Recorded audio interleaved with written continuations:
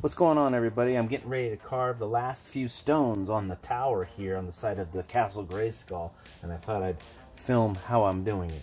I drew out all my rocks with a Sharpie. The next thing I'm going to use is, I call it my wire toothbrush. I'm going to go through and I'm just going to follow the lines that I drew. And I usually go about the depth of the bristles.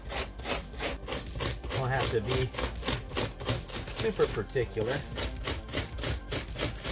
just like that. Now one thing I'll do sometimes is I'll use this little hand keyhole saw or drywall saw and I'll cut the line just to kind of help the the wire brush. You don't have to do this, but sometimes I'll do it just to make it a little easier.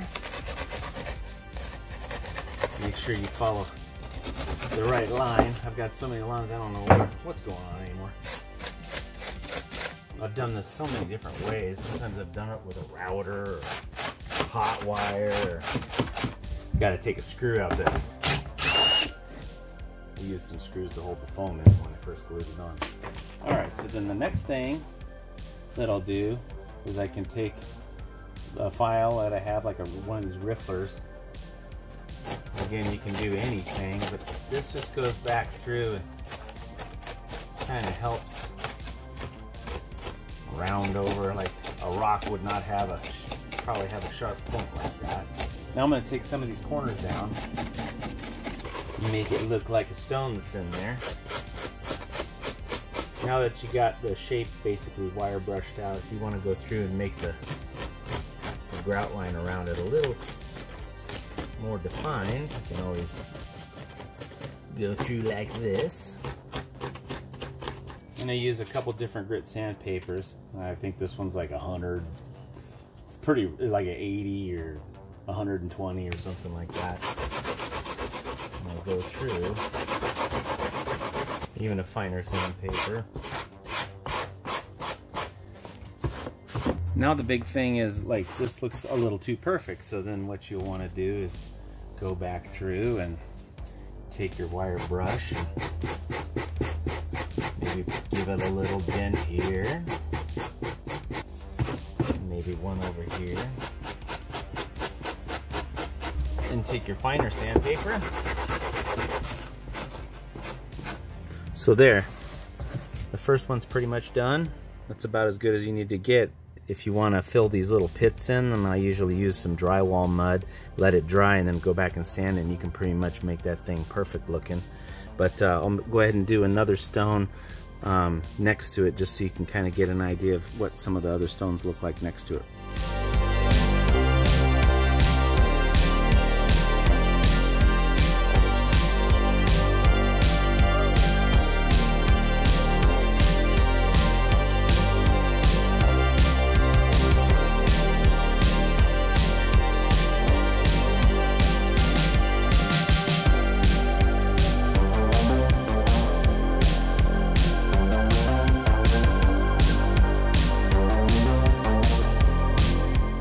So now that I got a couple of those to where they're looking pretty good, you just continue and keep going and then pretty soon, let me walk over here, you'll have a whole wall like this. Another couple tools that I like to use, especially in areas where I've got to take down and level some places like the bottom where I'm doing some rocks here, is I just use one of these curry combs. They're like uh, for combing horses and dogs. They're great for leveling off areas really flat. And you can remove some of the rings so you don't have to use all of them.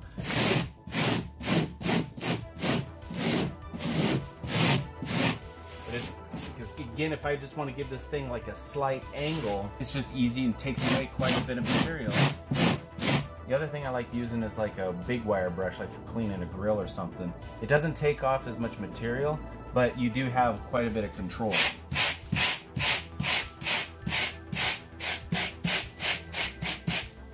But this is definitely a go-to of mine for sure. Again, this makes quite a mess, so what I do is every 10 or 15 minutes or so, I'll sweep up what's on the ground, shovel it into garbage bags. That way I can control the amount of spread that the foam goes. We do get asked quite a bit where we get our large foam.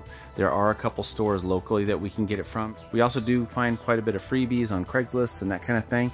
But regardless, what we always do is have to glue several pieces together using expanding foam and um, and then just some shish kebab sticks. You can see how this just isn't one big block of foam. I've got several different pieces glued to the wall and I just use expanding foam and uh, carve them all down.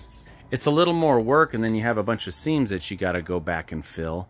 Now to do that, what I do is I go through and fill in what I can with my expanding foam. These guns are really handy by the way. They're like 50 bucks, but they're worth every penny.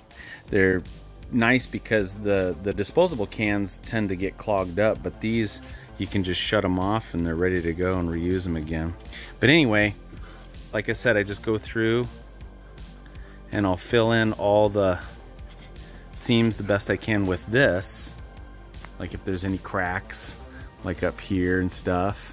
I mean, you only want to do it when you're done carving. So otherwise you're going to be chipping away stuff. Then once all my great stuff is cured, I'll use some drywall mud right here. I got some in a little Homer bucket here. And uh, I'll just go through and apply some on my seams. Now all these pits and stuff, I can try to sand that a little better. Like this obviously can improve.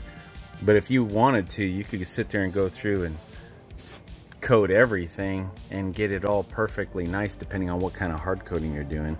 Um, but yeah, I'll just sit here and put that all on there and then let that dry, give it a light sand, and it really hides that seam. So see, you can apply it in the, fill it all in. Again, this isn't sanded very well, so this is kind of a horrible example, but once that dries, you can go back through and sand it all smooth and works pretty good.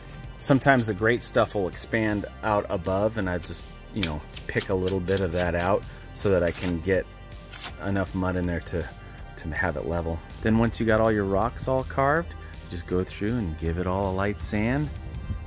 Fill all your seams with some drywall mud and you're ready for hard coat. So there you go. There is some of the tools and the way I fill the seams and glue the foam together for projects like this Masters of the Universe Grayskull build that we're working on. If you're new to this channel, be sure to visit. We've got lots of other fun videos and uh, make sure you click like and subscribe and smash and all the things that everyone asks you to do in every single video. That way, it'll be easy for me to talk my wife into letting me continue to make awesome things like this. all right, guys, thanks for watching. We'll see you next time.